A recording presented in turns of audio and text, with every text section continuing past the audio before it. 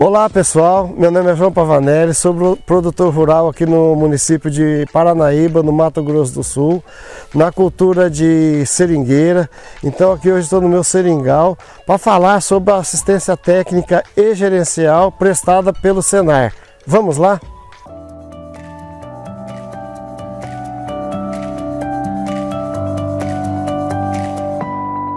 Eu conheci o Senar já há cerca de 15 anos aqui em Paranaíba, através, principalmente através do Sindicato Rural de Paranaíba e depois através de um depoimento de amigos que já tinham assistência técnica do Senar e me prestou ótimas informações a respeito. No momento que eu recorri ao Senar, eu estava praticamente desistindo da atividade. Estava tendo vários problemas gerenciais e de condução é, da, dessa atividade estava realmente disposto a, a eliminar inclusive as árvores. Quando entrou o Senar e, e me, me abriu os olhos, uns problemas graves que eu tinha, que eu achava que eram muito difíceis de resolver, o Senar me deu uma ajuda muito grande na condução do seringal, no controle de pragas, de formigas, e eu estava realmente desanimado. E a partir daí mudou totalmente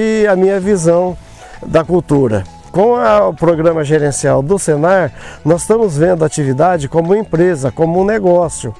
Isso aí é, nos economizou bastante e deu uma perspectiva muito boa de futuro para a gente tomar decisões gerenciais do que fazer, como fazer e onde investir ou não. Isso aí está sendo muito importante para nós. Isso aí acho que foi fundamental para a gente permanecer nessa atividade com lucros.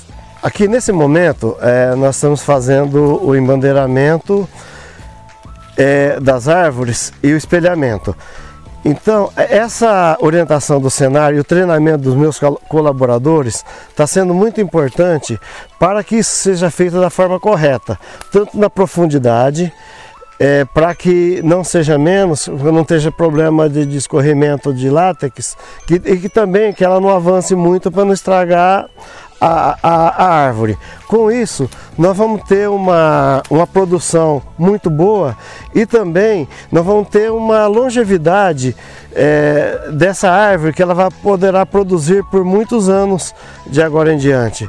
Porque uma uma condução correta e incorreta nesse momento pode ter sérios prejuízos e atrapalhar, e atrapalhar um, um trabalho desde de 10 anos que a gente está conduzindo isso e poderia ser desperdiçado nesse momento.